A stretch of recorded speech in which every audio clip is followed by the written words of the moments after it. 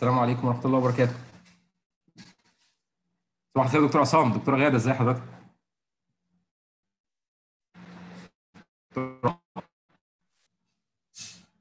أوكي. تمام.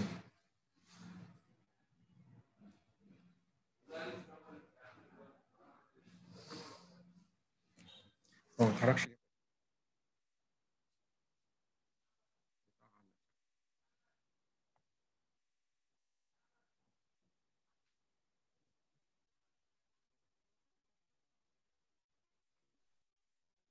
مفيش صوت يا دكتور محمود.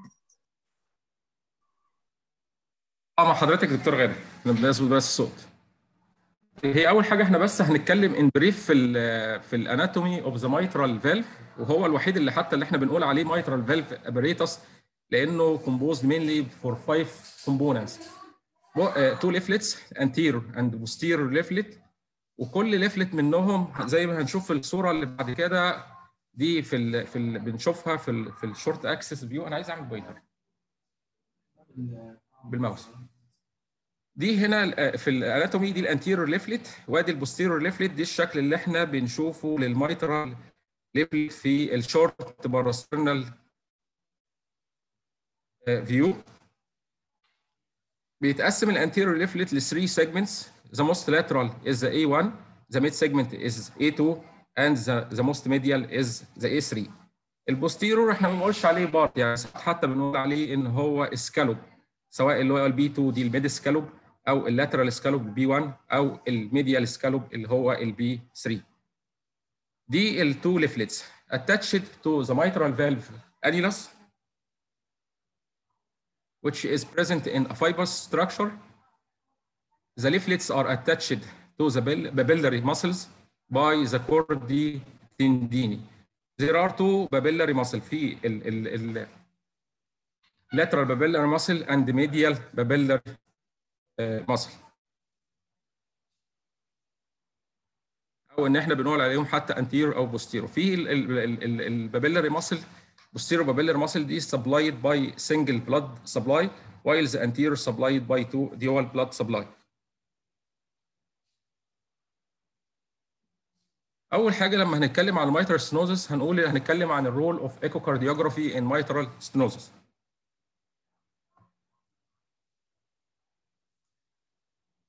ال echocardiography mitral stenosis has important role يمكن هو أهم واحد بالنسبة لل four valves اللي عندنا. ال mitral ال echocardiography أهم واحد فيهم في نقط كتيرة جدا. أول حاجة إن هو to confirm diagnosis of mitral stenosis. وإيه هو ال etiology بتاع ال mitral stenosis ده حاجة rheumatic calcific congenital أو any other cause نقدر نassess ال severity of mitral stenosis سواء mild moderate اور severe ال upstream consequences اللي بتحصل مع ال mitral stenosis بدءا من الليفت اتريال دايلاتيشن البلمونري هايبرتنشن الرايت سايد افكشن الديزيز بروجريشن ده لما إحنا بيكون عندنا حالات سواء في ال early stage of mitral stenosis mild to moderate بنبدأ نعمل follow up لل cases ديت. وأهم حاجة بالنسبة لل mitral هو ال decision regarding therapy ال echocardiography has an very important role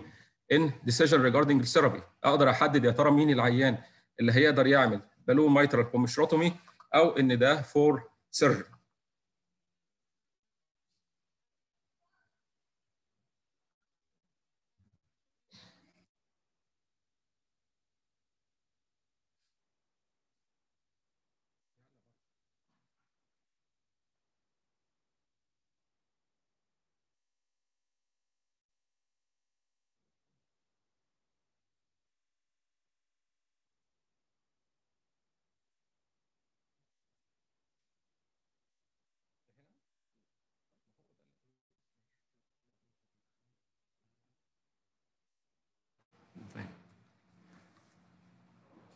أول حاجة هنتكلم عن ال methods of echo assessment of mitral stenosis mitral valve عامة إحنا بنشوفه في في multiple views and ب multiple methods إما بال 2D أو ال M-mode Doppler أو ال 3D echo أو بال transesophageal echo أو ال stress echo ده ال assessment إن إحنا نقدر نعمل assessment ال mitral stenosis ال views اللي إحنا بنشوفها في ال transthoracic echocardiography mainly ال parasternal long axis view وال parasternal short axis view and apical 4 وممكن ال apical 3 and ال apical 2 views هنا دي كانت في ال guidelines 2015 إيه ال indication بالنسبة لل transthoracic echo في العيانين اللي عندهم mitral stenosis كان class 1 indication إن ال transthoracic echocardiography is indicated in patients with signs or symptoms of mitral stenosis to establish the diagnosis. دي نمرة واحد. نمرة اثنين quantify ال hemodynamic severity. ثلاثة نassess نعمل assessment ال other concomitant valvular lesions and demonstrate ال valve morphology. Whether it is suitable for balloon or for surgery. ده يمكن الدور المهم والوحيد بالنسبة لل transthoracic يجي بعديه الدور اللي هو بتاع ال transesophageal echo وده بيتعمل في عيانين معينين إن هو should be considered. in patients uh, considered for percutaneous mitral balloon commissurotomy عشان حاجتين اول حاجه ان انا اسس ال presence or absence of left atrial thrombus and to further evaluate the severity of mitral regurgitation ممكن نعمل اكسرسايز تيست سواء بتريدميل او دوبلر او انفيزيف هيمودايناميك اسسمنت to evaluate the response of mean mitral gradient and pulmonary artery pressure in patients with mitral stenosis لو في discrepancy between resting Doppler echocardiographic findings and clinical symptoms or signs. ودي هنشوفها في آخر سلايد بعد كده. لو جينا اتكلمنا عن الايتيولوجي اوف mitral stenosis. ممكن إن هو يكون برايمري وممكن إن هو يكون سكندري primary ده بيحصل morphological changes في ال mitral valve apparatus mainly ال leaflets the most common is rheumatic heart disease زي ما إحنا شايفين في ال stand still image اللي جنبها. إن في هنا diastolic thickening of tips diastolic doming and restricted uh, posterior leaflet. السبب الثاني وده برضه يمكن سبب مشهور وبنشوفه في ال old age اللي هو ال degenerative أو ال severe mitral annular calcification can lead to mitral stenosis congenital زي ال parachute mitral valve وده very rare إن إحنا بنشوفه. الحاجات ال secondary ودي يمكن إن إحنا ممكن نفكر فيها لما بنيجي في ال clinical examination إيه ال differential diagnosis اللي إحنا بنشوفه في العيانين اللي, اللي بنقدر نسمع على ال apex diastolic murmur في أسباب كتيرة ممكن تخليني أسمع diastolic murmur على ال apex apart from ال mitral stenosis أشهرهم إن أنا ممكن يكون بسبب ال left atrial myxoma أو إن يكون في congenital anomaly في ال left atrium اللي هي ال cor triatriatum أو يكون functional بسبب إن العيان دوت عنده severe aortic regurge eccentric بيقفل ال anterior leaflet وده بنسمعه في نوعين من ال murmur اللي هو ال Austin Flint وال Carey Coombs murmur فدي حاجات كتيرة ممكن تخليني أسمع diastolic murmur على ال apex وما يكونش السبب بتاعه mitral stenosis عشان كده ده أهم role حتى في الإيكو في الأول إن هو to diagnose mitral stenosis and نقدر نشوف إيه ال etiology بتاع ال mitral stenosis دوت. قلنا ال primary اللي هو أشهرهم ال rheumatic أو ال degenerative ال secondary إن يحصل left ventricular inflow obstruction بسبب mass vegetation أو left atrial myxoma أو إن يكون زي الصورة اللي تحت هنا دي مبينة إن في postero mediastinal mass compressing ال left وال left ventricular outflow tract وبالمرة compressing ال mitral valve فعلى relative أو mitral stenosis دي هنا إن إحنا لو هنتكلم عن ال morphological assessment ان rheumatic mitral أول صورة هنا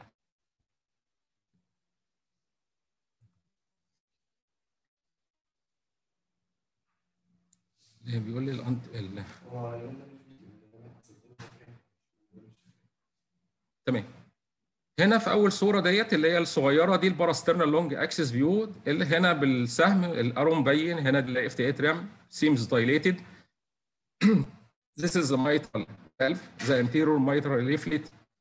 and the posterior mitral leaflet and the aortic valve. هنا زي ما إحنا شايفين إنه حتى في thickening لل leaflet tips وفي diastolic doming. لو شفنا هنا في ال parasternal short axis view هنلاقي إن اللي فوق ديت دي ال anterior leaflet واللي تحت دي ال posterior leaflet ده ال lateral commissure وهنا ال medial commissure وزي ما يبان في الصورة قدامنا إن ال mitral orifice بيفتح وباين إن ال two commissures fused الصورة هنا واضحة يعني مش واضح فيها إن أنا أقدر أعمل assessment على ال chordae أو ال papillary muscle ودي هنشوفها في صور ثانية دي صورة ثانية دي برضو نفس الطريقة في ال parasternal long axis view restricted posterior leaflet thickening tips of anterior leaflet with diastolic doming and dilated left atrium. ده الشكل اللي إحنا كنا بنشوفه حتى في في ال parasternal short axis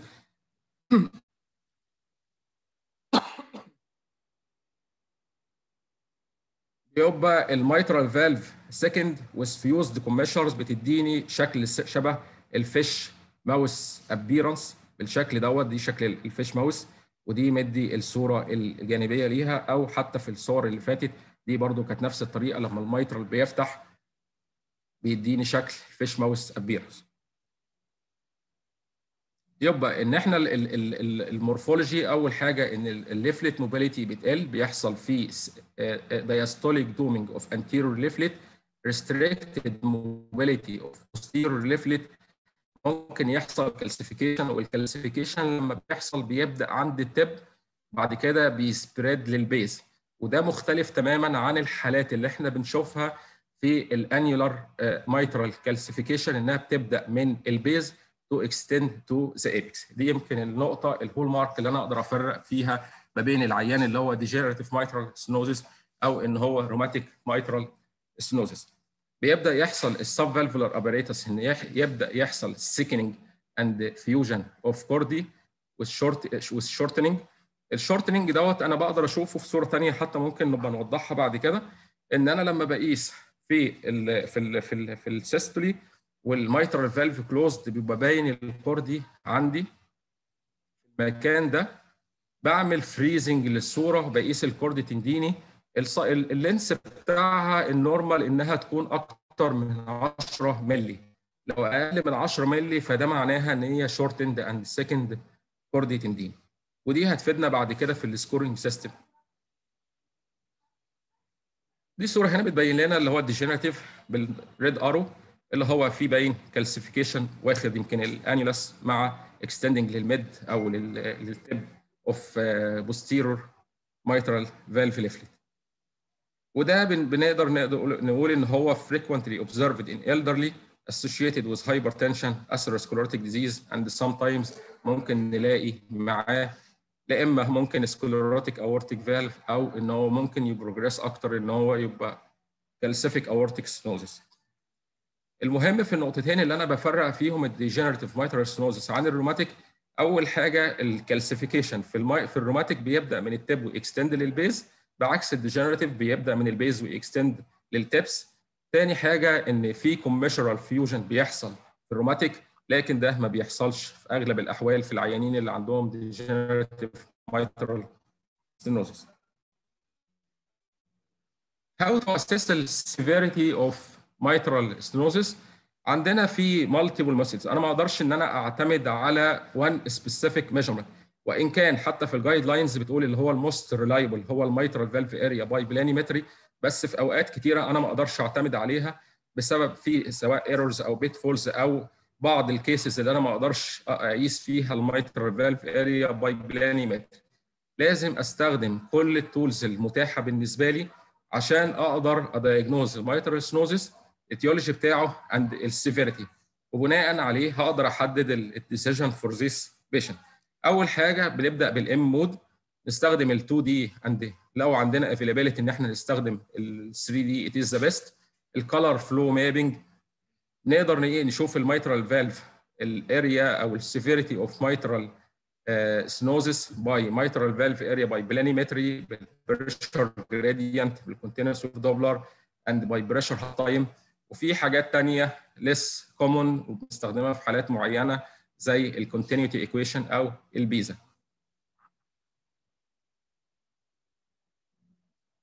هنا في ال M-mode أول صورة اللي إحنا شايفينها فوق دي ال M-mode دي الشكل الطبيعي اللي إحنا بنشوفه في ال mitral valve opening during ال diastole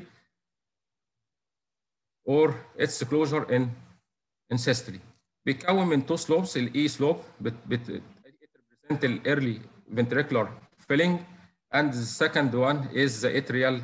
contraction. Movements of the anterior leaflet is upward while the posterior leaflet is downward making حاجة إحنا بنسميها concordant movements of both leaflets. وده الشكل الطبيعي. ده يختفي تماما في العيانين اللي عندهم mitral stenosis. شوفوا في الصورة اللي تحت يبدأ يحصل decreased ال EF sloping زي ما إحنا في بنشوفه في الصورة التوضيحية ديت أو في ال M-mode وإن إحنا لو قدرنا إن إحنا نقيس ال sloping دوت الطبيعي بتاعه إن هو بيبقى أكتر من 80 مللي per second ده معناه إن ال mitral valve area من 4 ل 6 سنتي square سنتيمتر لو ال slope دوت اللي إحنا بنقيسه سواء هنا أو إحنا قسناه هنا طلع أقل من 15 ملم per second ده معناه إن ال mitral valve area أقل من 1.3 square سنتيمتر ممكن بيبدأ يحصل اللي هو ال anterior motion or immobility of posterior mitral leaflet. زي ما إحنا شايفين كده بيحصل anterior motion ادي ال anterior leaflet وادي اللي تحت ال posterior leaflet اتحركت anteriorly ودي بنسميها discordant movement دي بقى الصور اللي إحنا بنشوفها في ال 2D echo بالنسبة. لما بنعمل mitral assessment أول واحدة على الشمال زي ما إحنا شايفين كده دي parasternal long axis view. هو بس في حاجة عايز أعملها.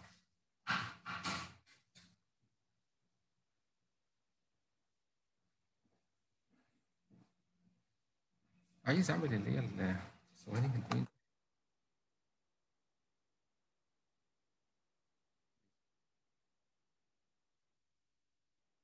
هنا زي ما إحنا شايفين ده ال parasternal long axis view. مبين هنا إن في dilated left atrium ده ال aortic root بال aortic valve وده ال mitral valve. ده الشكل ال typical اللي إحنا بنشوفه في العيانين اللي عندهم mitral stenosis. أول حاجة بنشوف ال mitral لما بيفتح في diastolic doming في thickening لل tip بيبدأ يحصل ال movements بتاعة ال posterior leaflet هنا زي ما إحنا شايفين بداية ال chordae حتى بدأت إنها تبان وباينه إن هي thickened بالنسبة طبعا لل size بتاعها أو ال length بتاعنا ما أقدرش لازم طبعا نعمل freezing during ال systole وأبدأ أقيس ال length بتاعها من ال tip of mitral valve لغاية ال tip بتاع ال papillary muscle وأشوف ال length بتاعها. دي ال parasternal short axis view زي ما إحنا شايفين كده أدي ال anterior leaflet اللي فوق واللي تحت دي ال posterior leaflet lateral commissure and medial commissure ده مدي الشكل برضو بتاع ال fish mouth appearance وباين عندنا هنا إن في fused commissure ويمكن بالشكل برضو ممكن ن appreciate إن مفيش أي degree of calcification في الصورة ديت دي البرس آخر صورة تحت اللي هي ال lower right دي ال apical 4 ودي أنا حاطط عليها color عشان بس يوضح لنا اللي هو ال turbulence اللي بيحصل during ال diastole بسبب ال stenotic valve lesion وده بيبقى مهم بالنسبة لنا حتى بعد كده ان أنا لما باجي اعمل assessment لل mitral valve بال continuous wave بيبقى مهم جدا ان أنا أشوف ال color دوت وان أنا لما بحط ال sample volume لازم تبقى نازله parallel لل color ال mosaic color دوت عشان أقدر احسب ال mitral gradients وال pressure half time بتاعي بصوره دقيقه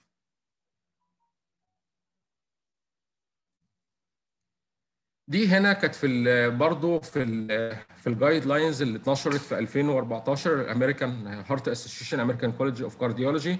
قسموا ال stages ودي كانت تقسيمة حتى جديدة يعني اختلفت حتى من قبل 2014 وما بعدها في ال staging of mitral أول كانت ال severe mitral كان بيبقى من 1 سم أو أقل. دلوقتي بقى إن ال severe mitral بقى equal 1.5 square centimeter or less فهنا ال at risk of stenosis مجرد إن إحنا بنشوف mild valve doming during diastole وال mitral flow velocity normal ومفيش أي هيمودايناميك كونسيكونسز البروجريسيف هو المايلد أو المودريت حتى هو المايل بنقسمه المايلد والمودريت وده في أغلب الأحوال بتبقى ال mitral valve area أكتر من 1.5 square centimeter ال mild بيبقى أكتر من 2 سنتيمتر 2 2 سنتيمتر 2 square centimeter بالنسبة لل asymptomatic severe هما الاثنين زي بعض بنفس ال data إن لازم تكون بال planimetered mitral valve area أكتر من أو تساوي 1.5 square centimeter ولو قلت عن 1 سم دي بنقول عليها إن هي very severe mitral stenosis أو tight mitral stenosis وبيبقى في العيانين دول ال pulmonary artery systolic pressure بيبقى أكتر من 30 ملم mercury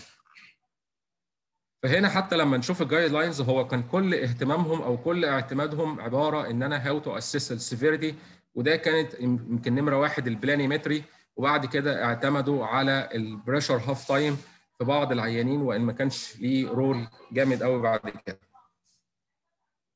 هنا دي كانت أول study اتنشرت اللي هي كانت سنة 96 في ودي اللي غيرت بعد كده اللي هو كان عملوا measurement of mitral valve area in mitral stenosis for echocardiographic methods compared with direct measurement of anatomic orifices. ودي اللي طل... اللي خلت اللي بعد كده حتى بال studies اللي اتنشرت بعد كده ان ال mitral valve area by planimetry is now level 1 recommendation plus B evidence.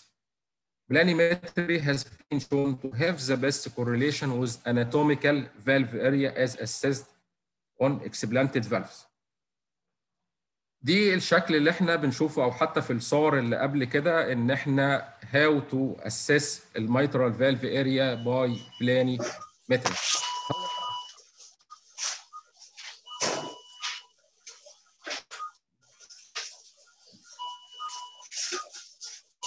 لو حد عمل ممكن يقفله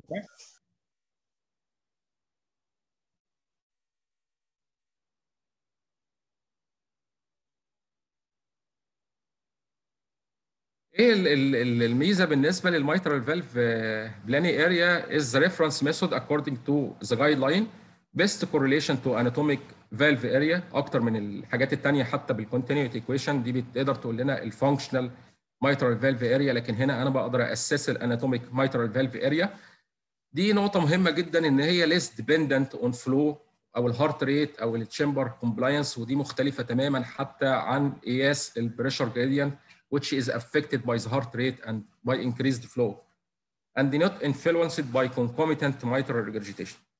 Okay? حتى it is لغايه دلوقتي برضو it is still the most reliable tool to estimate mitral stenosis severity after balloon mitral commission.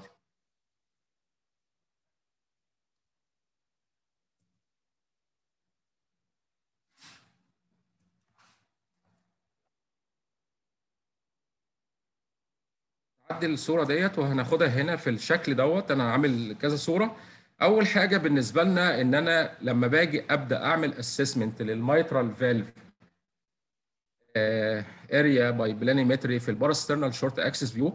أول حاجة أنا بعد ما بنحرك طبعا ال rotating ال probe بنزل في ال level بتاعي lower than أو at the level of papillary muscle وأبدأ أعمل tilting بحيث أقدر أطلع على ال chordae وبعد كده منها أوصل لل mitral valve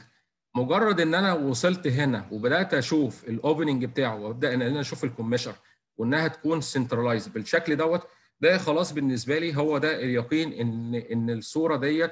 is the best to obtain ال mitral valve area من الصورة ديت. وخاصة إن ال stenosis ده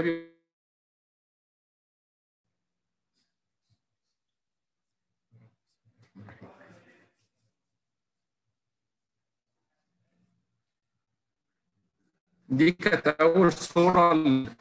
إحنا اتكلمنا فيها how to assess ال mitral valve area by planimetry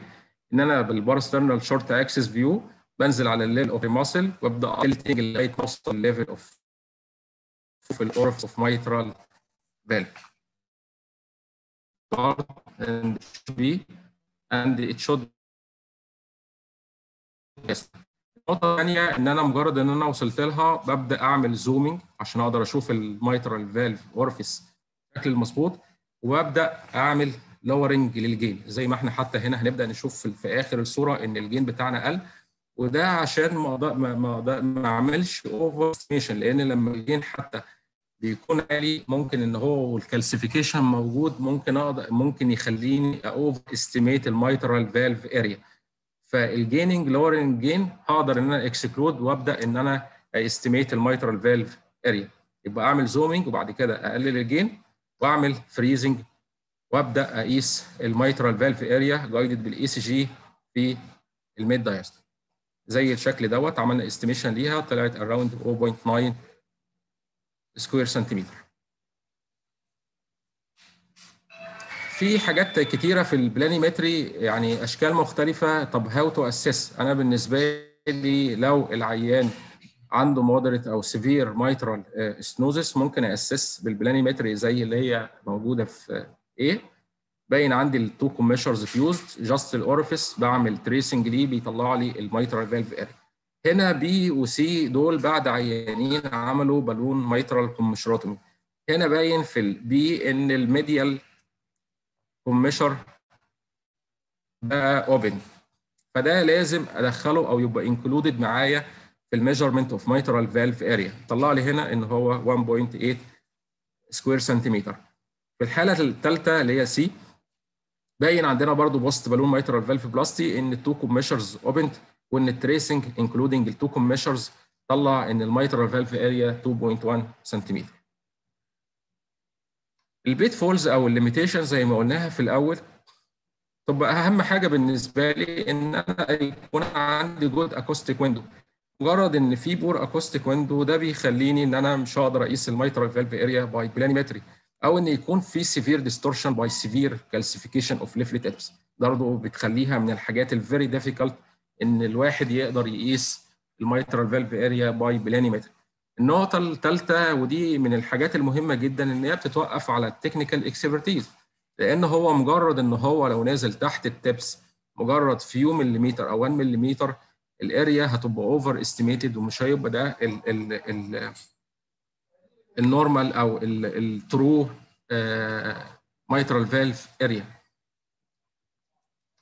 طيب سؤال هنا. Should we measure this دكتورة غادة. موجودة معايا؟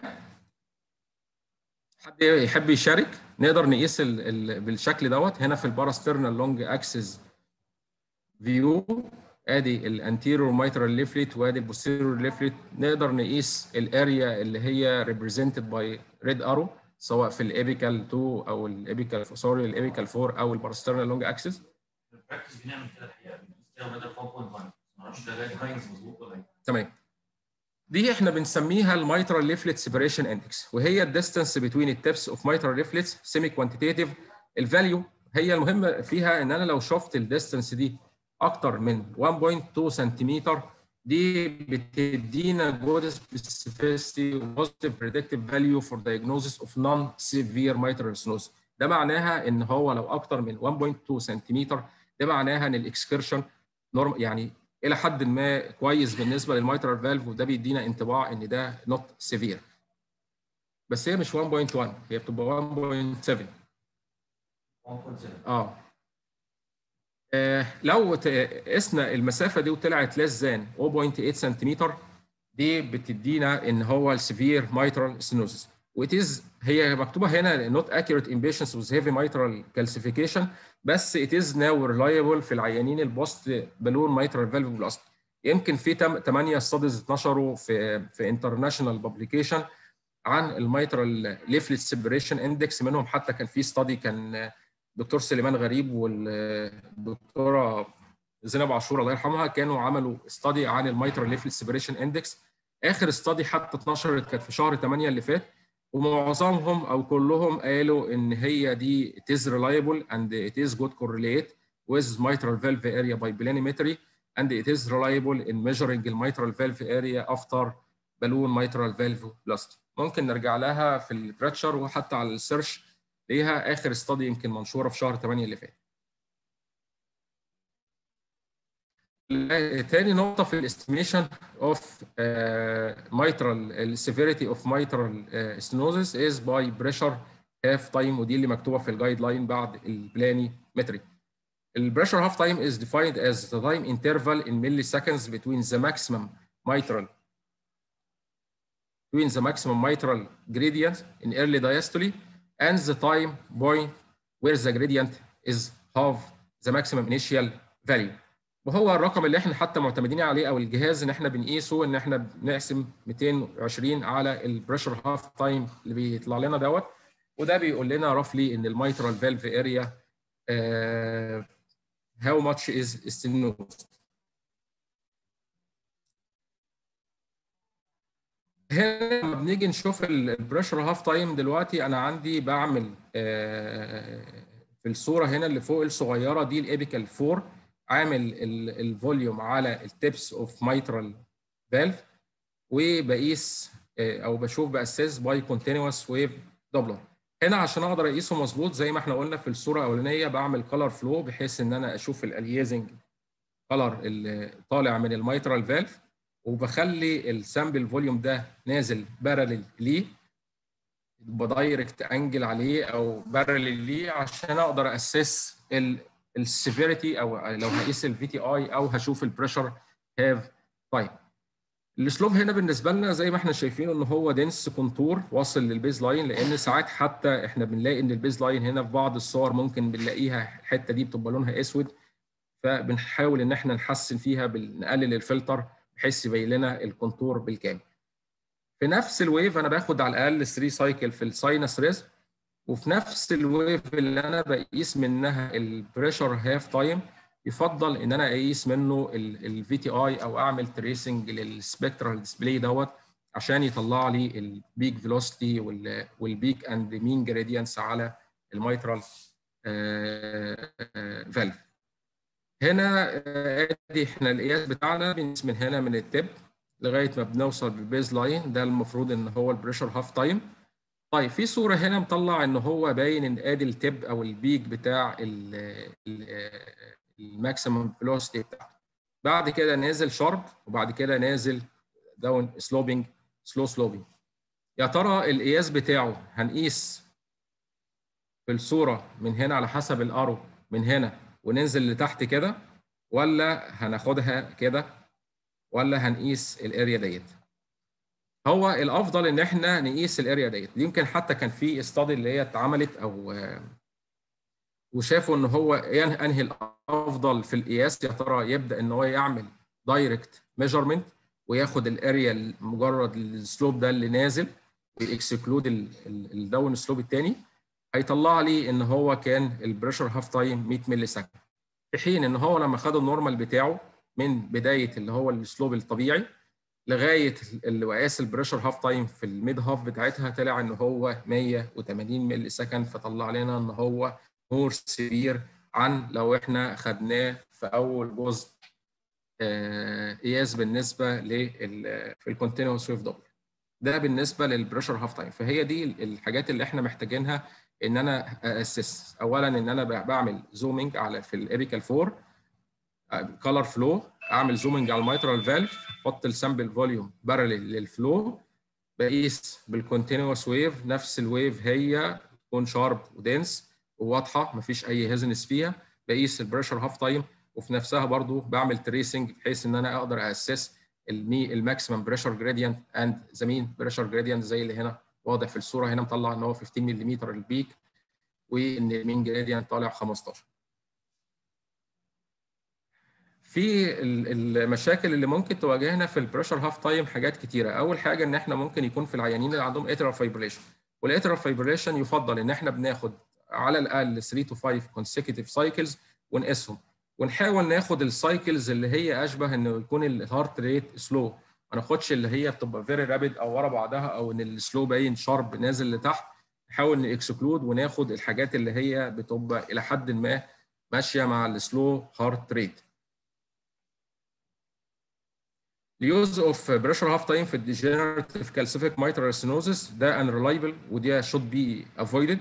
يبقى إحنا كده بالنسبة لل calcific بيبقى صعب جدا ان إحنا نقيس في ال planimetry وبرده صعب بالنسبة لنا ان أنا اقيس بال pressure half time طيب ده سؤال. لو حد يحب ان هو يجاوبه ممكن يفتح المايك ويجاوب عليه. All the following overestimate the mitral valve area when measured by pressure half time method except acute severe aortic regurgitation ولا restrictive LV function left to right shunt at atrial level أو severe mitral regurgitation. حد يجاوب إن هو يعمل overestimation إيه ال... ما عدا واحد من دول. حد من الناس الاونلاين ممكن لو عايز يجاوب. تمام. هو عامة في الأغلب اللي هو كل الحاجات دي بتعمل overestimate ال mitral valve area except ال severe mitral regurgitation وال explanation في ال pressure half time الحاجات اللي هي ممكن ت affect ال pressure half time وتقلله إن حاجة من الاثنين يا إما إن ال left atrial pressure بيقل أو إن ال left atrial ال left ventricular pressure ب increase. حاجات بتقلل بتخلي ال left atrial pressure declining rapidly زي لو في عندنا في shunt وال shunt دي ال left atrium بي drain لل right atrium في حالات زي ال ASD فال left atrial pressure بي drop rapidly and the pressure half time shorten ده في حالات ال atrial shunt أو ان يكون stiff left atrium ال compliance بتاعه قليل فبرضه البريشر بيدروب رابيدلي والبريشر هاف تايم بيشورتن أو ان يكون ال left ventricle pressure بتاعه عالي. يا إما يكون stiff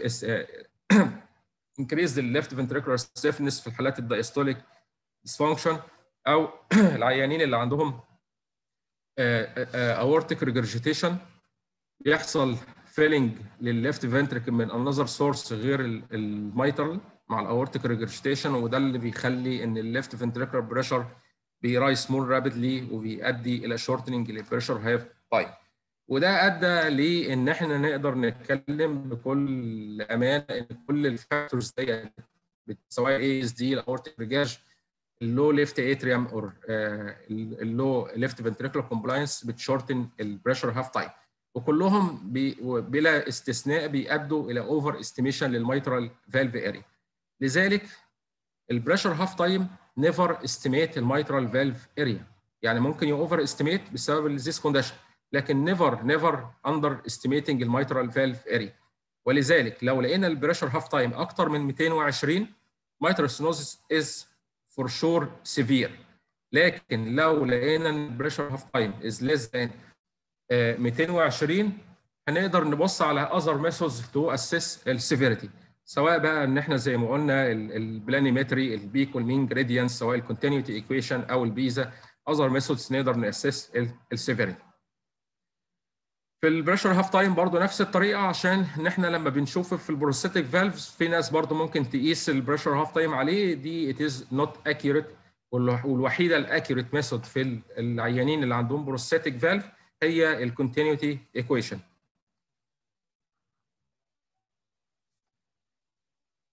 دي تالت حاجة إن إحنا في ال assess severity بعد ال planimetry وال pressure half time هو ال pressure gradient وإحنا هنا في الشكل دوت ان إحنا بنشوف ال ال بن assess ال mean وال peak gradient برضه في ال apical four chamber view sample volume on tips of mitral valve نعمل ال color mapping بحيث يبقى.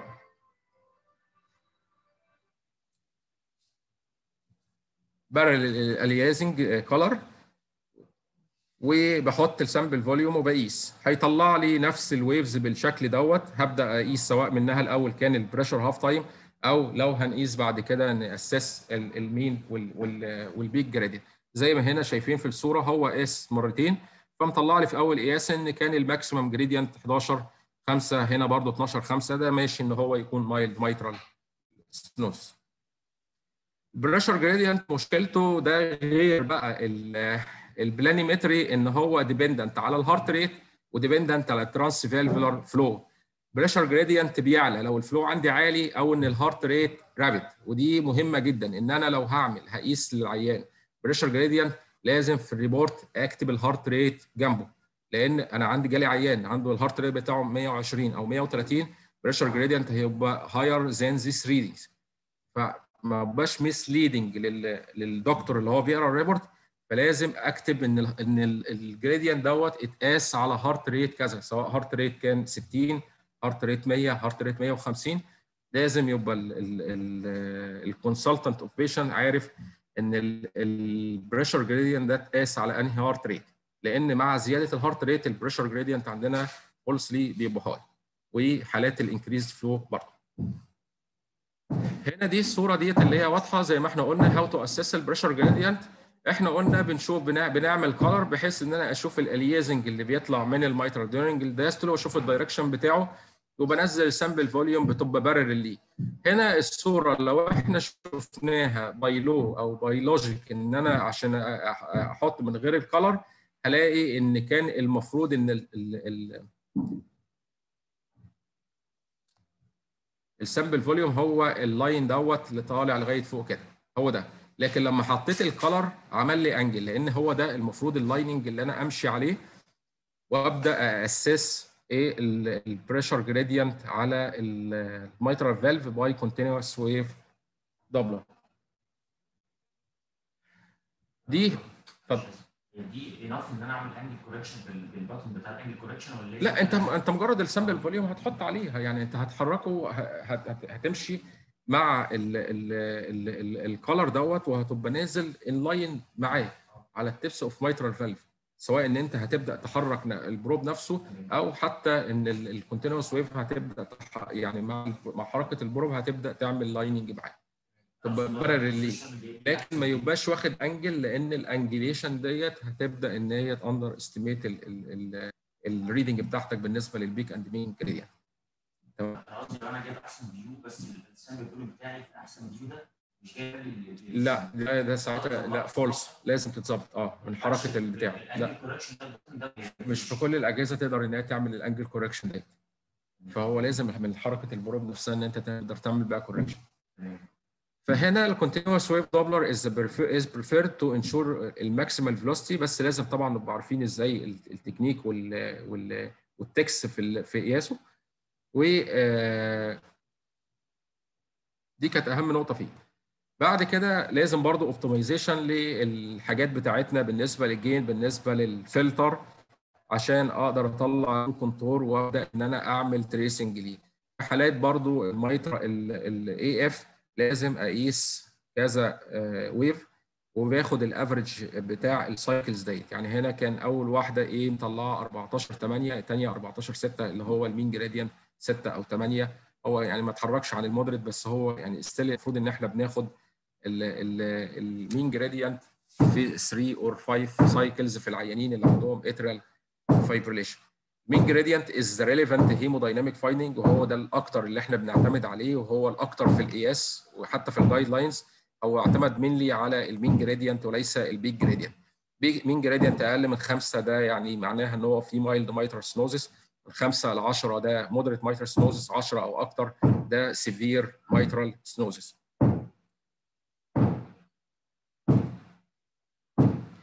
ال pitfalls of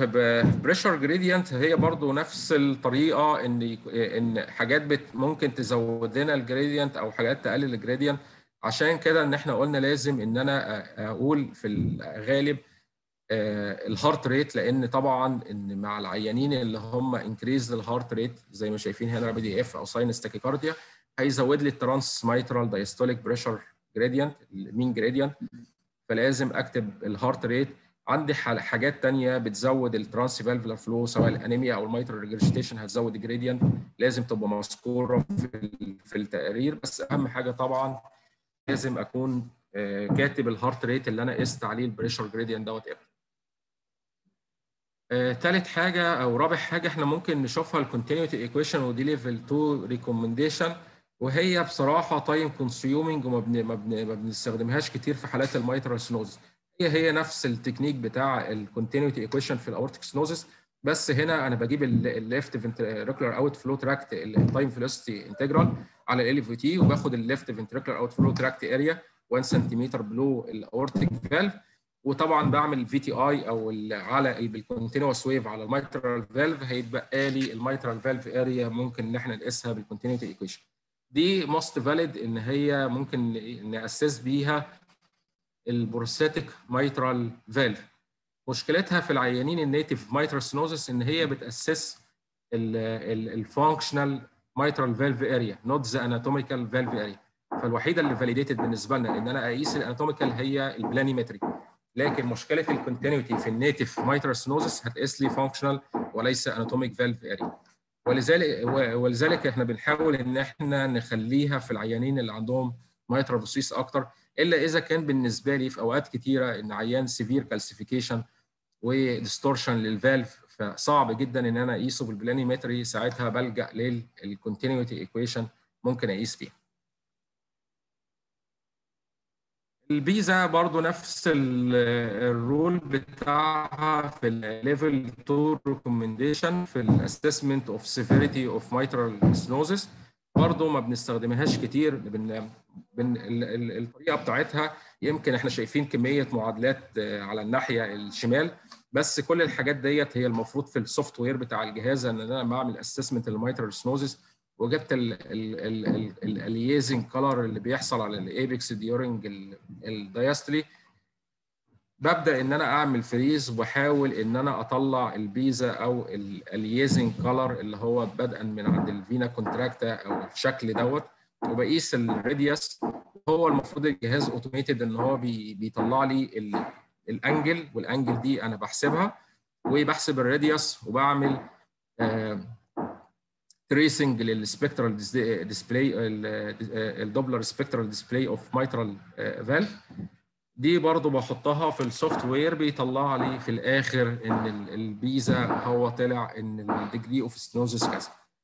لكن مش محتاجين إن إحنا حتى نحفظ كل المعادلات والأرقام ديت لأن هي موجودة في ال software just بحسب ال radius وبحسب ال VTI هنا برضو آدي الصورة بيطلع لي ال radius أو اللي هو ال aliasing ما بين ال vena contracta مجرد بحسب الرقم دوت ال radius وبحسب ال maximal velocity بيطلع لي ال area عن طريق ال software بتاع الجهاز whatever النوع بتاعه. هنا دي التكنيك بتاعته هو obtain zoom color flow برضو على ال mitral valve على في ال apical 4 وطبعا بنقلل ال Nyquist اللي هو ال limitation اللي هو بيبقى هنا 60 minus 60 أنا بقلل ال aliasing velocity أو اللي هي ال VA ال aliasing velocity بخليها حوالي 40 ودي بتحط برضو في ال data. بحسب ال angle بتاعت ال aliasing أو ال hemisphere ديت. والمفروض إن أنا بعد كده بحسب ال V max اللي موجودة في ال continuous wave Doppler بيطلع لي ال mitral valve area mitral valve resistance ال 3D echocardiography هو بصراحة the most important and the most reliable and the most and the most accurate in uh, determining ال mitral valve area. Uh, ومهم جدا إن أنا حتى إن أنا ممكن أقدر أقيس بيه في ال calcified أو ال irregular valve أو حتى بعد ال balloon mitral valvuloplasty. دي هنا هنبص على الصور بتاعت ال 3D echo في هنا ده شكل من من الجهاز اللي هو من ال 3D إحنا بنشوف أول حاجة أنا باخد مقطع هنا أنا عندي ال apical 4 لو شايفين في line هنا ال line دوت في الصورة الشمال. ال line ده المفروض إن اللي أنا بحطه اللي هو ال horizontal line دوت يقول لي أنا ببص فين؟ أنا ممكن أحطه في هنا في ال upper part of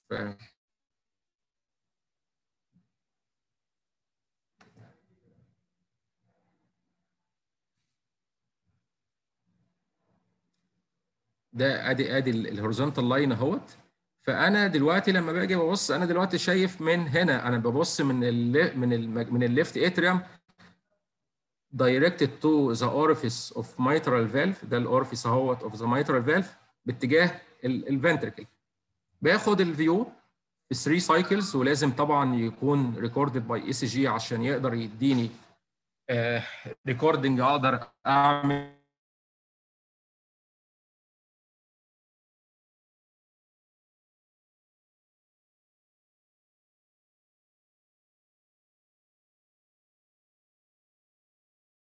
منه على ال mitral orifice ده الشكل المفروض إن هو اللي أنا كان ال primary بتاعي وده الشكل هو بال 3D لو شايفين في الصورة اللي فوق اللي هي اللي فوق أو اللي تحت ببدأ أحرك ال ال في two lines بيطلعوا لي. في واحد اللي هو ال vertical line وفي ال horizontal line ببدأ أحركهم سواء shifting ال up أو down أو rotation ليهم. عشان يديني أحسن صورة لل mitral valve. يعني بصينا حتى على الصورة هو بيبدأ ال operator بيبدأ يحرك بحيث إن ده يبقى parallel لل leaflet أهوت والتاني ده perpendicular عليه. هيطلع لي الشكل بتاع ال orifice مظبوط. يعني كل ده software هي أهم حاجة بس إن أنا أقدر آخد ال view كويس في الأول باصص من ال left atrium ناحية ال orifice freezing acquire ببدأ إن أنا أحرك سواء ال transverse وال longitudinal وال vertical lines ديت بحيث إن أنا حتى بيلتقوا الاثنين في ال center of mitral valve عند ال orifice بالظبط. هيبدأ يطلع لي الصورة زي ما هنشوفها في الصورة بعد كده. freezing هو أنا دلوقتي في الصورة هنا. شايفين؟ على ال line بتاع ال mitral orifice وده نازل في ال mitral orifice نفسه. ده مديني الشكل بتاعه اهوت في ال 3D وده الشكل المفروض اللي أنا كنت عامل له freezing وهنا بالشكل دوت هو. في الآخر ال laser pointing دوت طلع لي آدي ال mitral valve opening و correlating حتى باللي موجودة في ال 3D هبدأ أعمل tracing لل mitral valve area هنا وهطلع لي الرقم بتاع ال mitral valve area وده ال most accurate هنا يمكن طالع 0.9 برضه فدي is the most accurate and most reliable ولو عندنا بصراحة سواء مثلا في اسم 23 أو الفرنساوي في available 3D أو ال 4D echo هيبقى الأفضل إن إحنا ممكن نستخدم ال 3D 3D as another tool for accurate estimation of mitral valve area ال stress echocardiography هو إحنا بنستخدمه في العيانين اللي هم عندهم moderate mitral stenosis في الأغلب وعندهم symptoms زي exertional dyspnea وطبعا دي ما بتفسرش ال symptom بتاعتها. بنبدأ نعمل لهم exercise بهدف حاجتين إن أنا أ assess ال pulmonary artery pressure مع ال exercise و assess ال transmitral gradient لو لقينا هنا في في ال mean mitral gradient وال pulmonary artery systolic pressure طلع أكتر من 15 ملم ميركوري ال mean gradient ده بيبقى considered مع ال severe mitral stenosis. ده في ال treadmill أو في ال exercise. لكن في ال dobutamine echo يبقى ال gradient لو أكتر من 18 ملم mercury ده بيبقى considered severe mitral stenosis. لو في ايا كان نوع ال exercise اللي بنعمله سواء treadmill أو dobutamine pulmonary artery systolic pressure أكتر من 60 ده بيبقى indication إن العيان ده يدخل يعمل balloon mitral valvuloplasty أو إن هو يبقى for surgery لو حسب ال indication آخر حاجة إحنا زي ما قلنا إحنا بنشوف ال severity ال etiology بالنسبة لل mitral stenosis بنشوف آخر النمرة ثلاثة ال consequences of mitral stenosis اللي هو سواء ال left atrial dilatation وال affection of pulmonaries and right side طبعا أنا محتاج إن أنا أقيس ال left atrium سواء إن أنا بشوف ال diameter بتاعه ال anteroposterior في ال parasternal long axis view أو إن أنا أشوف ال left atrial area أو ال volume في ال apical 4 and apical 2 بنفس ال method بالظبط اللي إحنا بنستخدمها في ال Simpson method guidelines الجديدة في العيانين ال mitral stenosis ودي كانت مهمة إن إحنا ن assess ال left atrium لأن لو ال left atrial diameter بال mm طلع عندي أكتر من 50 ملم mercury آه sorry آه 5 سم أو اللي هو 50 مللي. أو ال indexed volume أكتر من 60 مللي اللي إحنا بنقيسه بالسيمتوم ده بيبقى ده should prompt initiation of anticoagulation بغض النظر إن العيان دوت حتى لو في sinus rhythm وعنده ال left atrial diameter أكتر من 50 ملم ده محتاج إن إحنا ن initiate ال anticoagulation بن assess طبعا ال pulmonary artery systolic pressure سواء على ال tricuspid regurgitation velocity بال continuous wave أو لو في عندنا برضو ال pulmonary regurgitation ببدأ ممكن ال peak velocity عليه. ببدأ assess بيه ال pulmonary artery pressure نقدر نشوف الأساس ال right side سواء dilated مهم جدا بالنسبة لي إن أنا assess ال right ventricular systolic function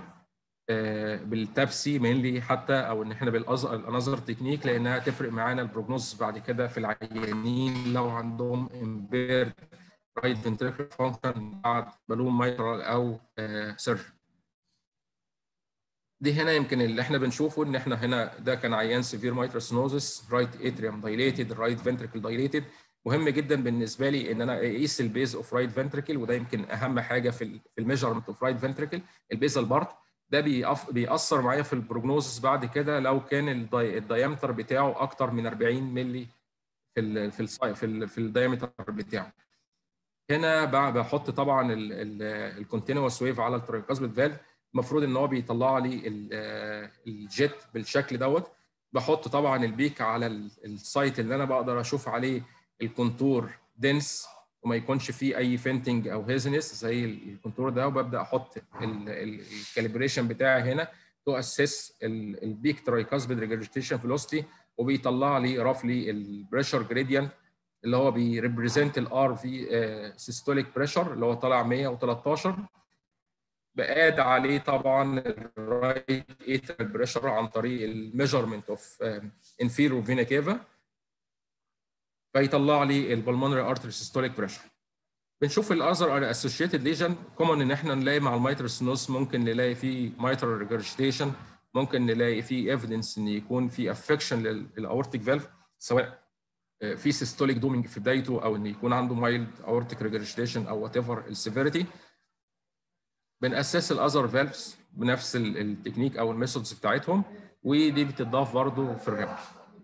decision regarding ال therapy دي آخر حاجة وقلنا دي يمكن بتبقى أهمية ال echo في ال mitral stenosis بالذات دون عن بقية ال other valvular lesion إن أنا هنا ممكن أعمل decision regarding ال therapy وده بيكون بكذا score يمكن أشهرهم أو اللي إحنا بنستخدمه اللي هو ال Wilkins score بن assess four points اللي هو الموبيليتي السكننج الكوردال انفولفمنت الكالسيفيكيشن وزي ما إحنا قلنا حتى للتبسيط وللسهولة هنلاقي هنا إن هو حتى في ال mobility أو في الأربع نقط دول إن كل حاجة بتبقى affected من ال tip وبعد كده بتوصل mid segment بعد كده بتكمل لغاية ال base بنحط ال score بتاعنا ال Wilkins score ده الأرقام دي الحاجة المفروض ال data اللي إحنا بن بن assess على أساسها. طلع لنا ال score لو كان أقل من 8 ده بي correlate well إن العيان ده ممكن ي proceed ل percutaneous mitral commissurotomy balloon mitral commissurotomy لو من 8 ل 12 ده gray zone فدي برضه بتبقى according to operator experience يا ترى إن هو ي proceed ل balloon mitral أو إن هو ي send for surgery دي فيها debate ودي according to ال operator أو ال consultant أكتر من 12 ده معناها إن هو إن ال valve restricted و heavily calcified ودي هتبقى فيه poor results بعد ال balloon mitral فبيفضل إن العيان لو أكتر من 12 to send for surgery limitation of Wilkins score هو كان إن ما عملش assessment لل commissures هو كل اللي عمله شاف ال mobility ال calcification ال chordal involvement وال thickening دي كلها كانت ال leaflet وال chordae فقط. لكن ال commissures ما كانش اتكلم فيها خالص تماما. وإن هو يقدر يفرق ما بين ال fibrosis وال calcification برضه نفس ال ال ال الطريقة. وإن في frequent underestimation of subvalvular disease. و does not use results from لا transesophageal echo ولا ال 3D echo. يمكن ده إلى حد ما reliable شوية وأسهلهم اللي هو ال Cormier method إن إحنا بنشوف إن العيان اللي هو group 1 اللي هو group 1 و 2 ده بيبقى pliable و non-calcified mitral valve فهو group 1 و 2 ده في الأغلب الأحوال بي proceed لل balloon mitral لأن مفيش calcification خالص. هو حط ال calcification في group 3 فرق group 1 و 2 عن طريق ال affection of subvalvular apparatus لو ال chordae طولها أكتر من 10 مللي فدي group 1 لكن لو عندك لو عندنا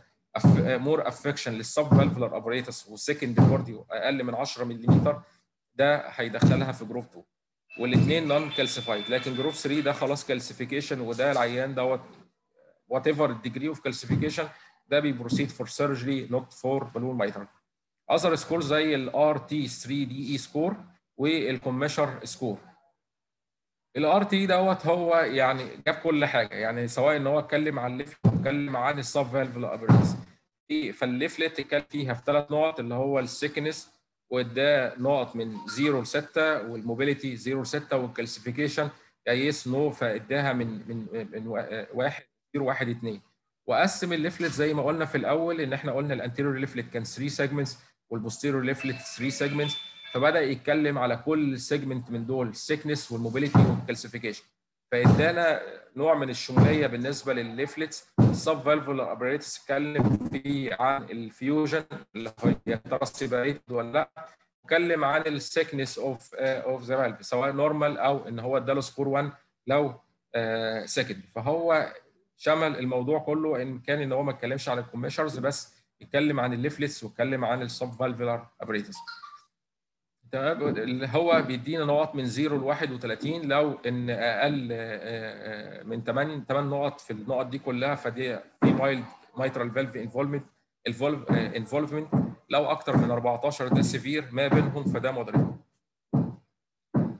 ال commissure score ده score سهل. إن أنا شفت دلوقتي اللي هو ال posteromedial commissure وال anterolateral commissure. يا ترى ال calcification دوت ما فيش calcification هدي zero. ولا partial calcification واحد ولا extensive calcification هدي اثنين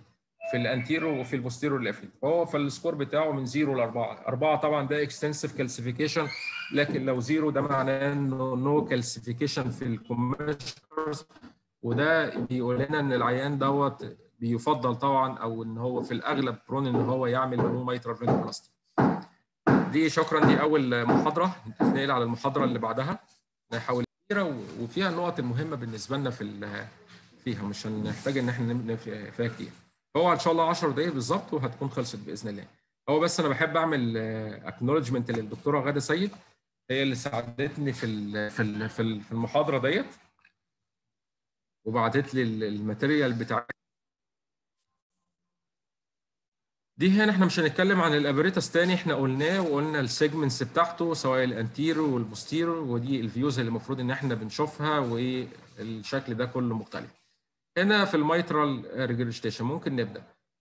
إيه الأسئلة اللي إحنا ممكن إن إحنا نسألها لنفسنا بالنسبة لل mitral regurge يا ترى في اولا mitral regurge ولا ما فيش mitral regurge؟ ان ساعات أنا ممكن يكون عندي في البداية إن يكون في ال proximal closing normal closing velocity تديني شكل إن هو في mitral regurge acoustic reverberation فدي لازم نتأكد إن في mitral regurge ولا لأ. ولازم أحدد ال severity يا ترى ده mild moderate severe mitral regurge إيه ال pathology أو إيه ال etiology اللي عامله؟ يا ترى ده مثلا rheumatic ولا ischemic ولا infective endocarditis rupture chordae ولا mitral valve prolapse ليفت اترم دايليتد ولازم أعلق ودي موست امبورتنت إن أنا أشوف ال في دايمنشنز اند فانكشن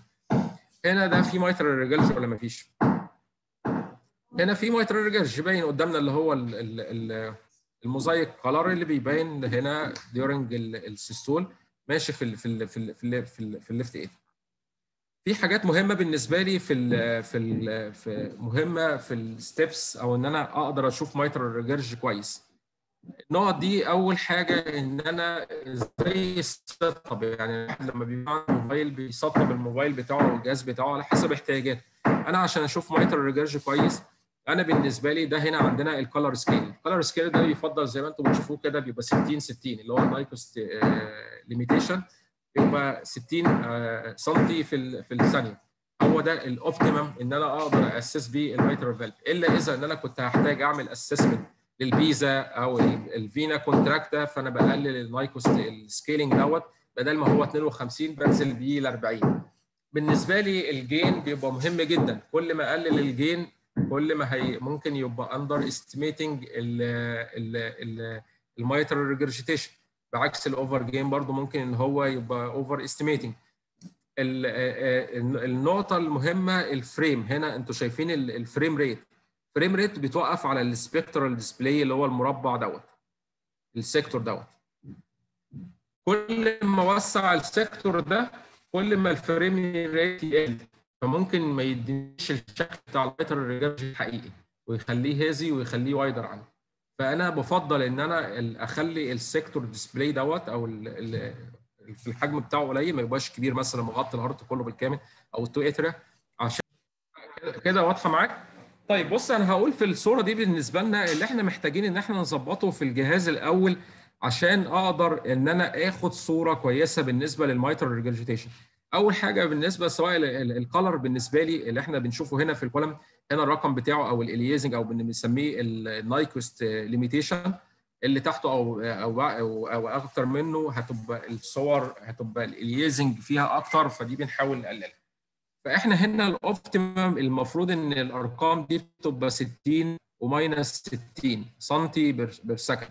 دي الأفضل وال optimal إن أنا أشوف بيها ال mitral regurgitation بيربع ممكن أقلل اللي موجود في ال lower margin دوت اللي هو ال 52 ده أنزل بيه ل 40 ده في حالات إن أنا لما أجي أقيس ال vena contracta أو إن أنا بشوف ال PISA. لكن otherwise أنا بحافظ عليه إن هو يكون 60 60 بالنسبة لل color scaling ال gain نفسه too much gain أو too lower gain ممكن يأثر لي في الشكل بتاع ال mitral regurgitation jet فنحاول سواء إحنا عندنا في الأجهزة اللي هو اللي بندوس عليه ال iSCAN أو إن أنا ببدأ أظبط ال gain ما بين 40 ل 50 بحيث ده هو ده الشكل أو ال optimal إن أنا أقدر أشوف منه ال mitral regurgitation jet كويس. آخر حاجة اللي هي ال frame display أو ال frame rate وال frame rate ده بيتوقف على ال على ال ال sector اللي إحنا بنعمله ده. كل ما وسعت ال sector دوت أو كبرته كل ما ال frame rate يقل فبيطلع لك الصورة ممكن ال haziness ويطلع لك إن exaggerating ال mitral regurge أكتر من الطبيعي. فنحاول بقدر الإمكان يبقى ال sector ال display دوت يكون على نفس الحجم مثلا بتاع ال left atrium جزء من ال left ventricle وما نزودش عن كده عشان ما نقللش ال frame rate بتاعه. ال best views طبعا ان إحنا بنشوف فيها ال mitral regurgitation هي ال parasternal long axis view ال apical 4 وال apical 3 وال apical 2 chamber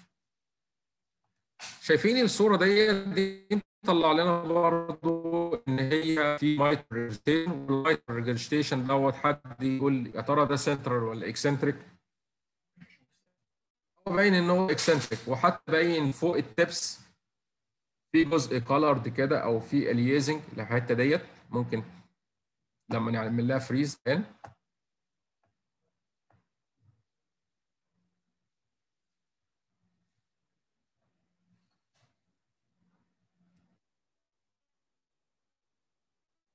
هنا بالصورة واضحة. اولا ال frame بتاعنا هنا طالع 56 مقارب طبعا إن إحنا بنقول الرقم بتاع 60 ال frame بتاعي rate كويس إن أنا بس مركز على ال left atrium وجزء من ال left ventricle عشان أقدر أشوف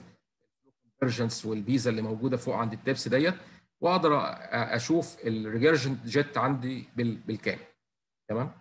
وأقدر أعمل assessment حتى بعد كده لل pulmonary veins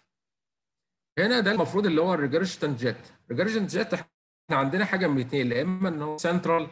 أو يكون eccentric معظم القياسات بتاعتهم للأسف كلها اعتمدت إن هو لازم يكون central regurgitant jet وإن هو يكون holosystolic زي ما بنشوف هنا مثلا في في الصورة ديت آدي ال regurgitant jet اللي هو ال central jet آدي أد اللي هي بين ال two leaflets نفسها ال two leaflets tip إحنا بنقيسها بنسميها ال vena contracta دي ال narrowest portion بعد كده في aliasing color بيبقى موجود كده في الأغلب بيبقى لونه أحمر. شكل ال hemisphere وهو ده المكان اللي إحنا بنقيس فيه ال PISA. فيها بيبقى لون شكله إلى حد ما أزرق اللي هو ال proximal convergence لازم نفرق ما بين ال proximal convergence والحتة هي ال aliasing color اللي أنا بقيس منها ال PISA. حوالين ال central jet بيبقى في حاجة بنسميها recruited flow وللأسف إن هي في أغلب الأحوال سواء يعني ممكن بال experience أو إن هي تكون حتى في الجهاز fault في أغلب الأحوال دي بتتقاس مع ال central jet وده اللي بيخلي إن في معظم الحالات بتاعة ال central mitral regurgitation بتبقى overestimated عن الطبيعي بتاعها. ودي بسبب ال recruited flow اللي بيبقى حوالين ال central jet إن إحنا بنقيس بقى بال Doppler ال pulsed wave Doppler طبعا استحالة بسبب ال aliasing والمشاكل اللي فيه. إن أنا assess mitral regurgitation فكل اللي أنا بعمل assessment بيه عن طريق ال continuous wave Doppler بيطلع لي ال envelope أو ال spectral display على ال lower side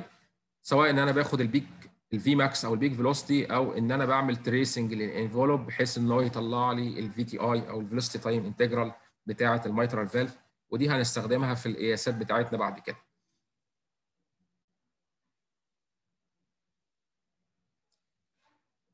عشان ن quantify ال mitral regurg أنتوا فاكرين لما بنيجي نكتب تقرير الإيكو بيبقى عندنا في نقط إن إحنا بنتكلم طبعا على ال leaflets بنتكلم عن ال sub valve apparatus بعد كده بنتكلم عن ال mitral regurgitation لازم نقول إن هو طبعا mild أو moderate أو severe في نقط مهمة جدا لازم أحددها إن أنا عشان أقول ال degree بتاعت أو ال severity بتاعت ال mitral regurg. طبعا بتبقى مهمة بالنسبة لنا أو ال most common اللي إحنا يمكن بنعمله كله إن إحنا بنحدد ال jet area تمام؟ وال jet area دي سواء absolute أو سواء in relation لل left atrial volume أو ال left atrial area فدي أول حاجة. ثاني حاجة إن أنا بشوف ال vena contracta وثالث حاجة ممكن أبص على ال pulmonary venous systolic flow reverse في حاجة من الحاجات المهمة جدا اللي هي نمرة واحد اللي هي ال PISA أو ال proximal isovelocity surface area دي من أهم الحاجات ليه؟ لأن هي هتطلع لي data كتير قوي دي هتطلع لي. اولا ال effective أو ال regurgitant orifice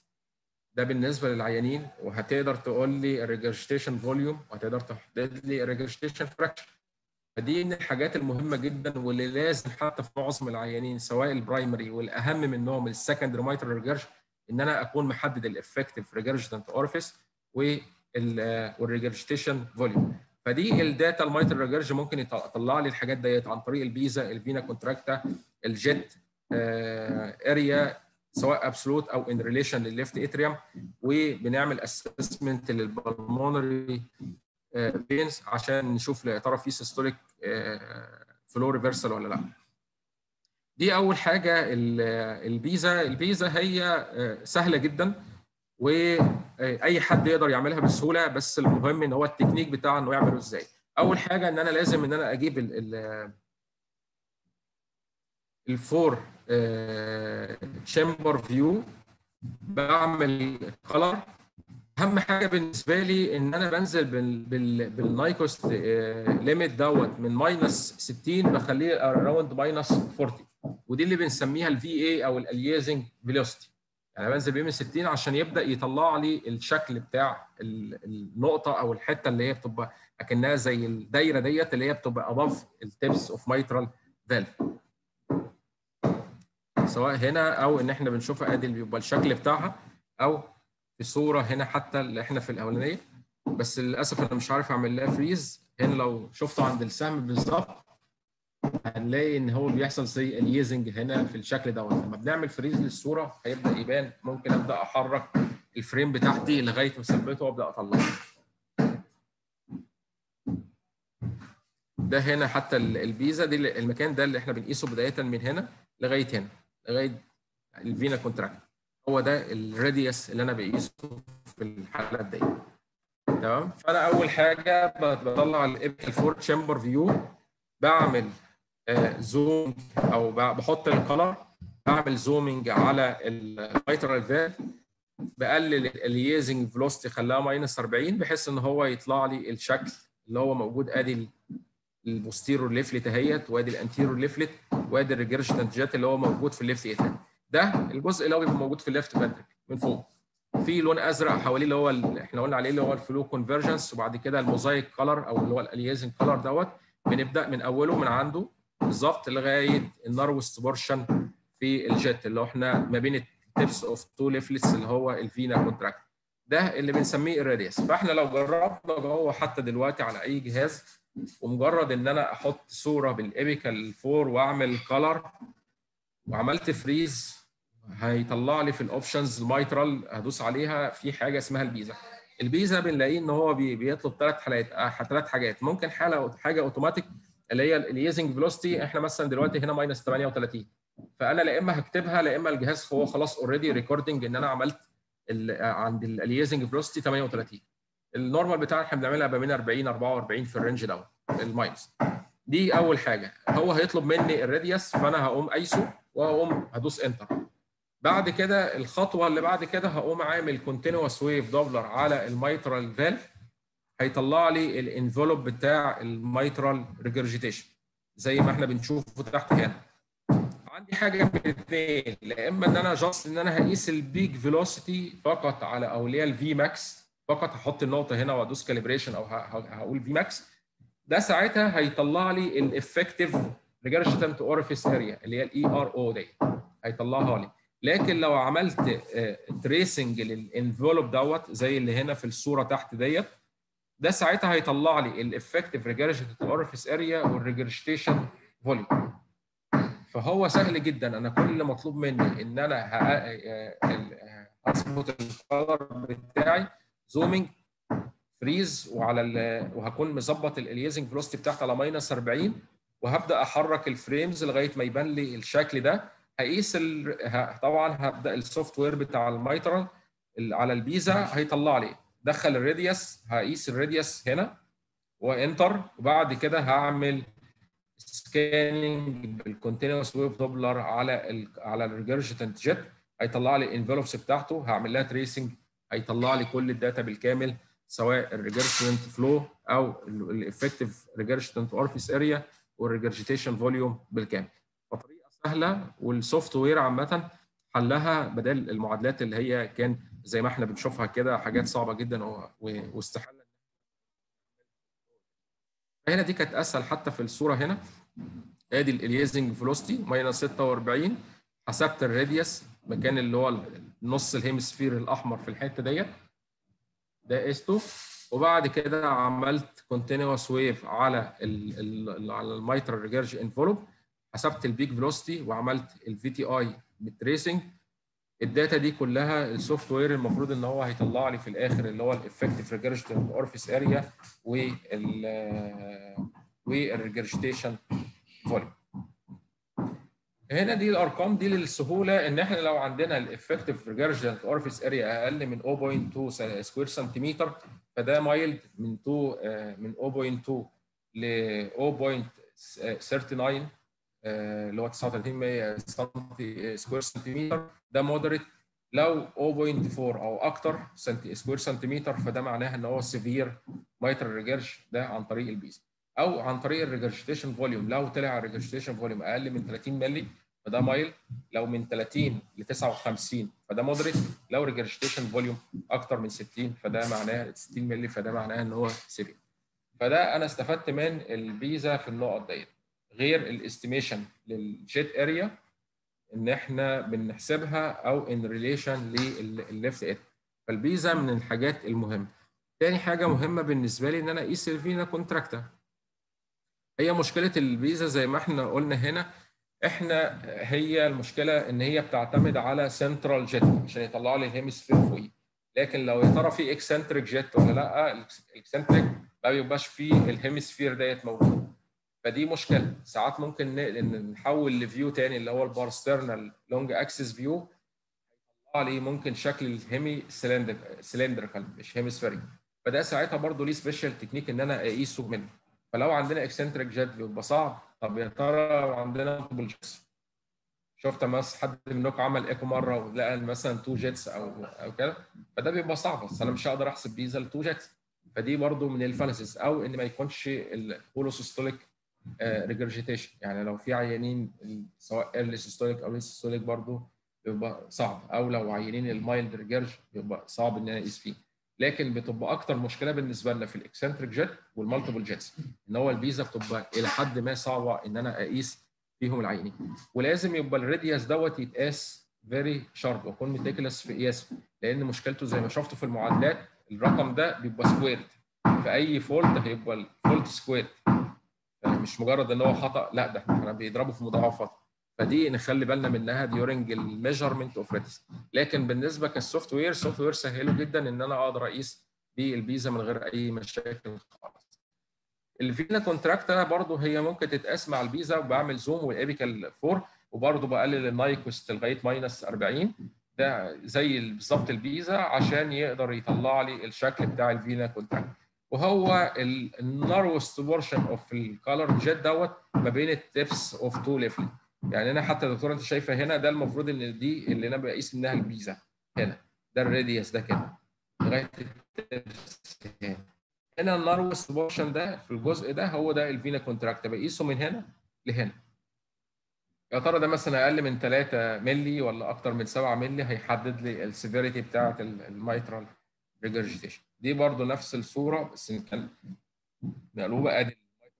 ال regurgitation اهوت وأدي الشكل الأحمر ده أو اللون الأصفر ده ال flow convergence وبعد كده الدايرة دي هي دي ال PISA ال hemisphere ديت وهبدأ اقيس ال radius من هنا لغاية هنا. تمام؟ ال narrowest portion هنا من الحتة دي لدي هي دي ال vena contracta. شايفين هو ده أضيق جزء وده المفروض إن أنا أقيسه. طبعا عشان أقيسه زي ما إحنا قلنا بنقلل ال scaling بتاعنا ال minus 40 بحسن ال gain بعمل ال sector width بقلله عشان أزود ال frame rate بتاعي وأعمل zooming وأبدأ أقيس accurate أرقام دي بالملي وفرقة الملي الواحد بيفرق كتير إن أنا بيحوله من mild ل moderate أو moderate to severe هنا ما باخدش ال crescent الازرق ده معايا. لا ما بتاخدش ال crescent الأزرق لكن انت بتاخد ال mosaic color بس فقط. لكن الأزرق ده اللي حواليه لا ما بتاخدش الأزرق اللي حواليه. هيبقى في recommendation إن أنا أقيس سواء ال PISA أو ال vena contracta في وقت معين في ال systole ولا في أي وقت؟ هو أصل المفروض إن ال regurgitation دوت بيحصل في ال systole فالمفروض لو هتقيسه حتى هيبقى في ال mid ال mid systole يعني لو ال timing إحنا بنتكلم فيه according to guidelines أو ال- هو ال mid systole هو ده اللي بيتقاس فيه. بس انت طبعا الم- المشكلة ان انت لما بتعمله بتحرك ال- ال frames بحيث تجيب ال best ال best اللي هو موضح لك فعلا إن هو الشكل بتاعه بال- بال degree وطبعا أكون محسن ال parameter سواء ال- ال frame rate بتاعي أو سواء ال gain أو سواء ال color scaling بتاعي على minus على اللي هو minus 40 دوت. المفروض هو ده اللي هيجيب لي ال best shape بالنسبة لي. لكن عشان أشوف ال mitral regurgitation jet أنا بخلي ال scaling بتاع ال color scaling على 60 لكن بنزل بيه ل 40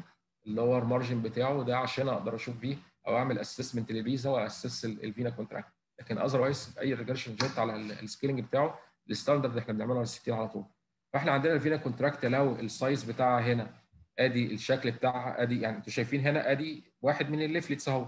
وأدي التاني ده ال anterior وأدي ال posterior ما بينهم دوت هو ده ال vena contracta ده ال narrowest portion اللي هو ما بين ال tips of two leaflets ده هنقيسه هنعمل zooming بنفس ال- الشكل. ويكون طبعا عاملين ال color scaling ونقيسه لو أقل من 0.3 سنتيمتر فده mild mitral regurge لو من 3 ل 6 فده moderate لو س- 0.7 سنتيمتر فده معناه إن هو بيقول لنا severe mitral regurgitation فإحنا دلوقتي عندنا إن إحنا سواء إحنا بنقدر نحدد ال severity دلوقتي من ال PISA إحنا قلنا ال effective ال effective regurgitant orifice area أكتر من 4 0.4 سنتيمتر أو إن ال regurgitation volume أكتر من 60 أو إن يكون بال vena contracta أكتر من أو اللي هو يساوي 0.7 آه، سنتيمتر. ال- ال jet area بيبقى ليها رقمين. في رقم اللي أنا in relation لل left atrium أو ال absolute دلوقتي لو أنا مثلا عندي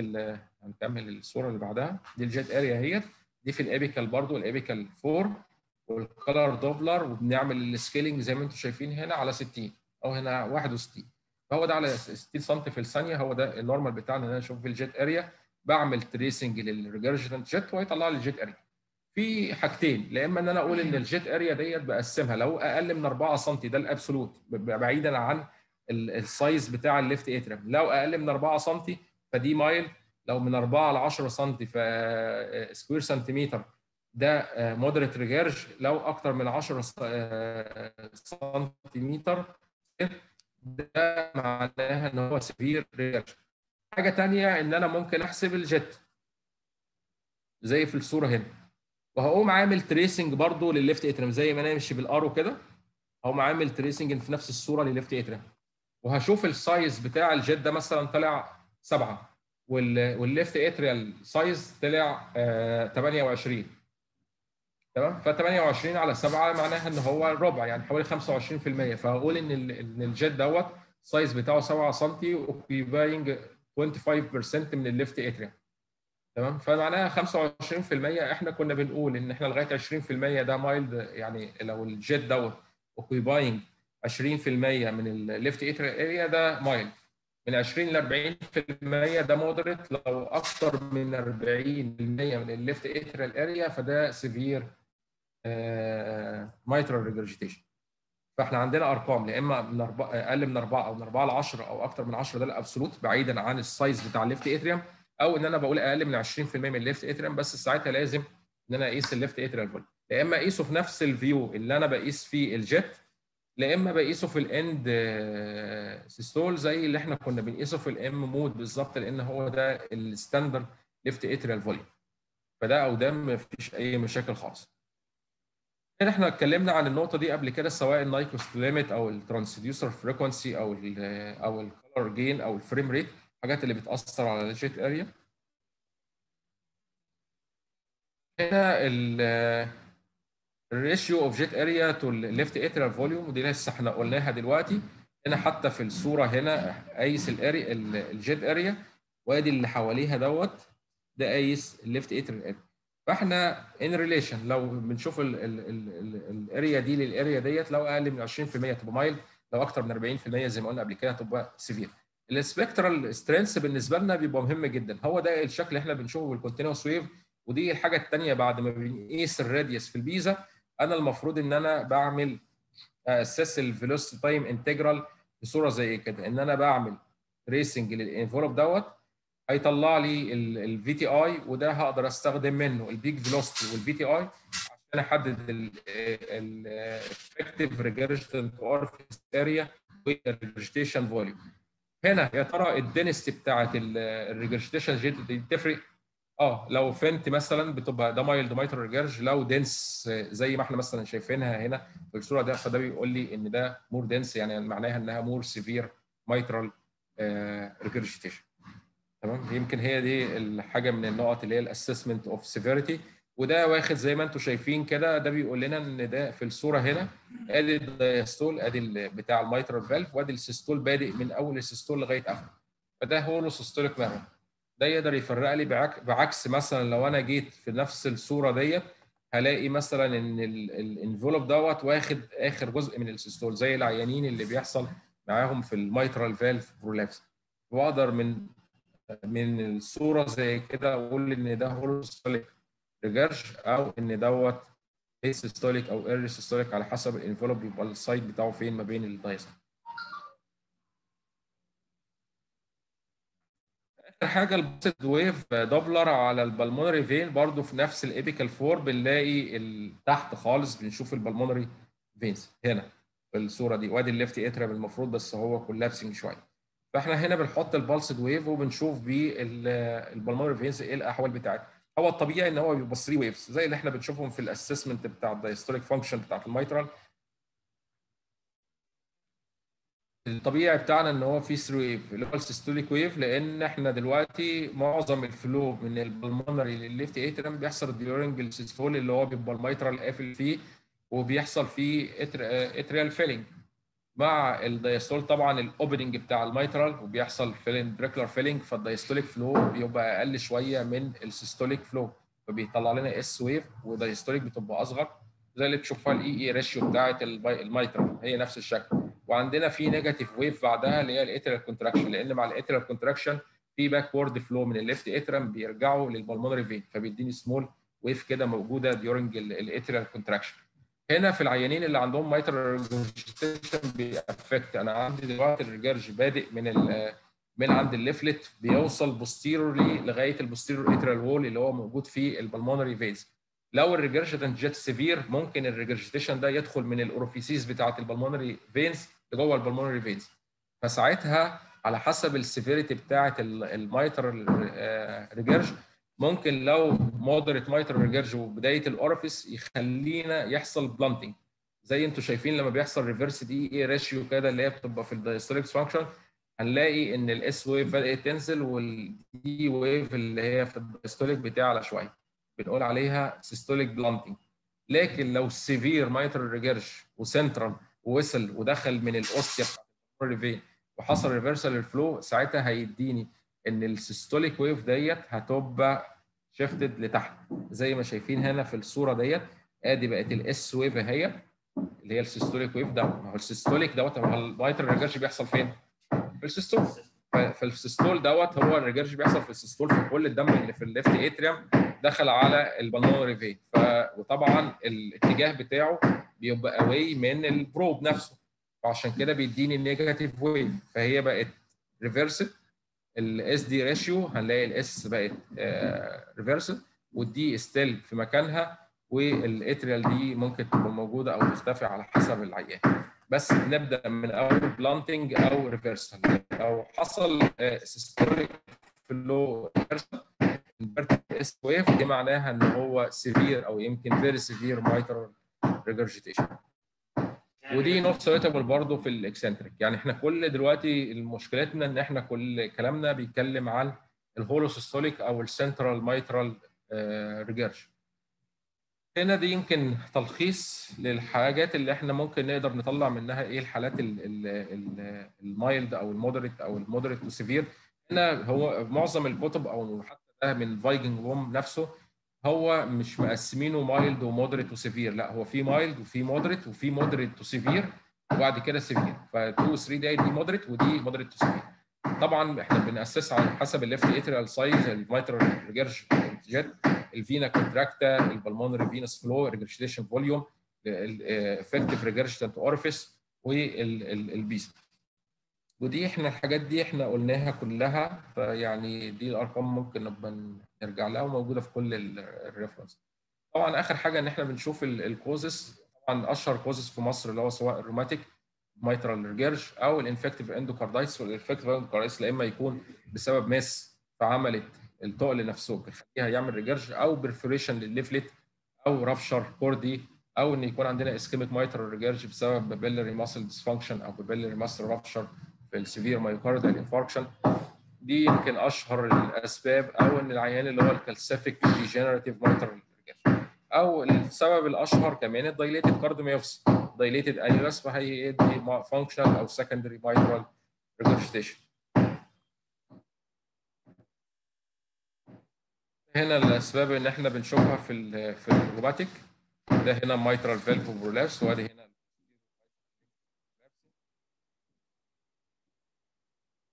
الشكل اللي إحنا بنشوفه وده من الحاجات ال diagnostic قوي اللي هو ال M-mode ادي ال shifting بتاع ال posterior leaflet في ال diastole وده اللي إحنا الشكل اللي إحنا بنشوفه في ال M-mode مش مجرد single closure لا كانه في multiple closure فوق بعض بسبب ال motion بتاع ال mitral valve during ال systole ال ruptured chordae وال perforation بيعملوا eccentric jet ال eccentric jet هو الفكرة إحنا زي ما إحنا قلنا في الأول إن بيبقى فيه recruited flow حوالين ال central jet ففي أغلب الأحوال إحنا بنبقى overestimating ال mitral regurge eccentric jet مشكلته إن هو بيبقى دايركتد لوول من الاتريا سواء الانتير أو البوستير وول أو سوري أو هو المشكلة فهو ال recruited flow بيبقوا عليه قليل. في نفس الوقت ما بيقدرش إن أنا أحدد ال severity بس هو لو كان سنترال كان في أغلب الأحوال هيبقى أكبر من كده. فبسبب ال overestimation وال recruited flow اللي هو بيبقى فيه أقل من السنترال فتم تم الاتفاق بسبب النقطتين دول إن إحنا نزود ال degree بتاعة ال mitral regurge 1 grade يعني أنا لو عندي mild mitral regurge وأنا واثق إن هو mild mitral regurge و eccentric لا أنا بقول ده moderate لو moderate بقول moderate to severe لو moderate to severe بقول severe فال eccentric jet بيعامل معاملة إن أنا بعلي ال grade 1 grade vena سواء في ال parasternal long axis أو ال parasternal short ال PISA في أغلب الأحوال بتبقى صعبة ممكن نجيبها في بعض العيانين في ال parasternal long axis لو قدرنا إن إحنا نقيسها. باسس طبعا ال jet area يعني هي بتبقى بالنسبة لي من النقط المهمة. والمهم بالنسبة لي إن أنا أقول ال etiology لأن ال etiology برضه هيفرق معايا. لما أقول إن rupture chordae فده معناها إن هو for surgery بعكس مثلا إن حاجة ثانية another etiology مثلا إن هو mitral valve prolapse وإن هو مثلا moderate أو moderate severe بس still إن في other parameters ثانية لازم أعتمد عليها. إحنا قلنا يمكن دي آخر slide بس إحنا يمكن كنا قلنا إن من الحاجات اللي, اعتمدنا عليها في ال mitral stenosis إن هو بي decide ال surgery أو ال balloon mitral مشكلة ال mitral regurgitation إن في other parameters apart من إن أنا أقول severe mitral regurge وال data دي كلها. اولا يعني من النقط المهمة جدا في ال assessment بالنسبة له هي ال left ventricular function وال left ventricular dimension يعني في ال guidelines لو ال ejection fraction بتاعنا فوق ال 60% غير لما يكون من 30 ل 60% يعني class 1 لو فوق 60 لكن لو ال left ventricle ده dilated و hypocontractile وال ejection fraction بتاعه قليل ال guidelines بيتغير وبيبدأ إن هو يقل. يا ترى ده بيبقى functional mitral regurge ولا ده organic mitral regurge برضه ال assessment بتاعي يبدأ أو ال decision بتاعي هيختلف. فلازم يكون في multiple parameters apart من ال mitral regurge إن إحنا نقيسها. أهم حاجة إن إحنا نشوف ال LV dimensions و LV function وأقدر أحدد ال etiology يا ترى ال etiology ده بسبب ده ischemic mitral regurgitation ولا ده بسبب rupture أو flail mitral leaflet أو perforated leaflet أو بسبب كل ده بيفرق معانا في ال decision. بتاعة ال mitral regurgitation and thank you وأنا معلش أنا عطلتكم كتير.